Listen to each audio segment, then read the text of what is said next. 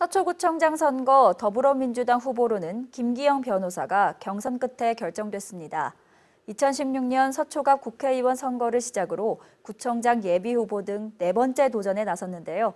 김기영 후보를 만났습니다.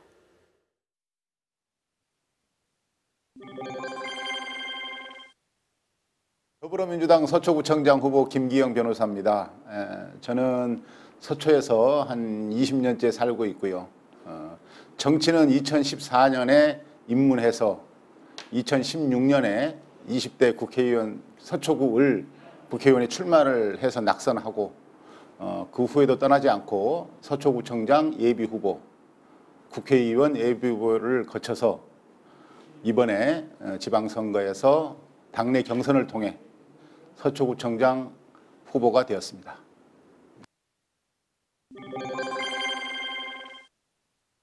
국민들을 위해서 봉사할 그런 준비, 마음은 충분히 가지고 있지만 그런 것들을 펼칠 그런 기회의 장이 없었다고 생각을 하고요. 어, 참고로 이번 대선을 통해서 어, 민주, 더불어민주당에 대한 심판은 끝났다고 생각을 합니다. 어, 지방자치는 주민들의 삶을, 우리의 삶을 어떻게 행복하게 하느냐, 이런 선거라고 생각을 하고요. 어, 이번 선거에서는 당보다는 음, 일꾼을 뽑는 것이 중요하다. 이런 생각을 하고 있습니다. 20년 동안 서초에 살면서 서초를 잘하는 사람, 저 김기영이 오랜 기간 동안 서초 구민들과 부딪히면서 그분들이 필요로 하는 것, 어려운 사람들의 삶의 질을 향상시키는 것, 그 다음에 공약들을 충분히 준비를 해왔고, 거기에 가장 적합한 후보라고 생각을 했기 때문에 이번에 출마하게 됐습니다.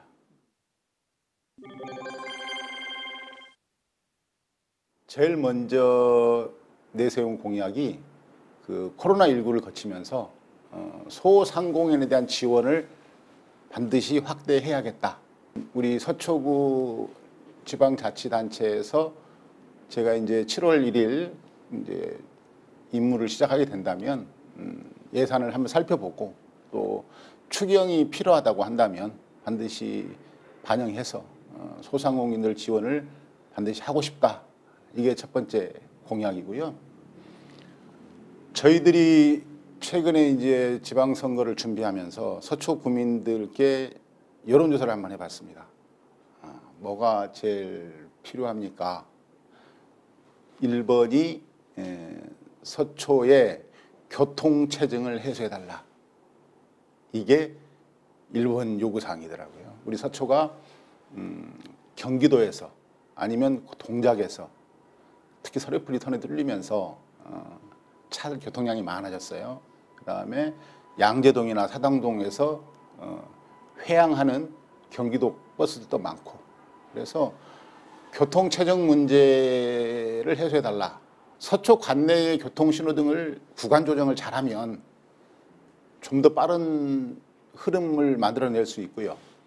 또 하나는 버스 정류장을 어, 옮기는 그 조정 작업을 통해서 그 교통 흐름을 해소할 수 있겠다. 이 두 가지를 또 생각을 했고요.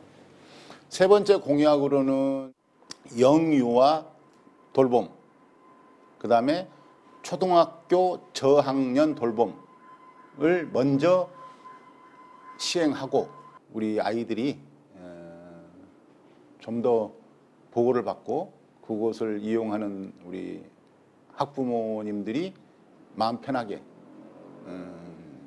일상 생활을 할 수 있도록 그렇게 구상을 하고 있습니다. 제2청사를 서초 갑 지역에 반포 지역에 건립할 생각입니다.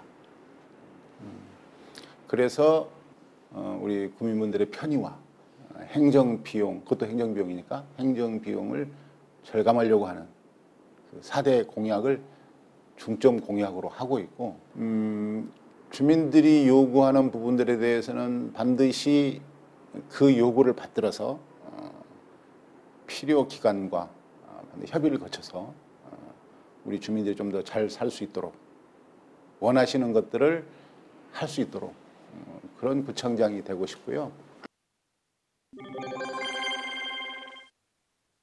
네, 서초 구민 여러분, 저는 어, 여러분을 너무 사랑하고 여러분을 위해서 일을 한번 해보고 싶습니다. 충분히 준비했고 또 20년 넘게 서초에 살면서 어, 서초를 누구보다 잘 안다고 생각하고 어, 제가 준비한 정책들 이런 부분들이 우리 서초 구민 여러분들 몸과 마음 속에 아 참 잘 뽑았다 이런 말을 듣고 싶고 꼭 그렇게 그런 기회가 왔으면 정말 좋겠습니다. 당 보지 마시고 어, 우리를 위해서 얼마나 일을 잘할 수 있는지 얼마나 일을 잘할 일꾼인지 그 부분을 살펴주시기 바랍니다. 국민을 위해서 국민 여러분을 위해서 최선을 다하겠습니다. 감사합니다.